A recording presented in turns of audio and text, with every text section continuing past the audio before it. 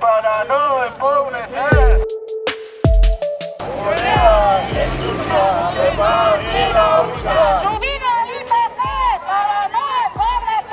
Hoy hemos venido aquí al Centro de Salud de, Consultas Externas eh, para hacer una protesta y lo que hemos hecho es coger a una furgoneta de, de Gureak, Navarra, que viene a hacer un reparto y eh, eh, nos hemos subido encima de ella y hemos reivindicado lo que llevamos reivindicando ya hace más de un año ¿eh? y que por parte de la empresa pues se han, se han cortado las, las, nego- las negociaciones de convenio. Urea, escucha, reparte la hucha.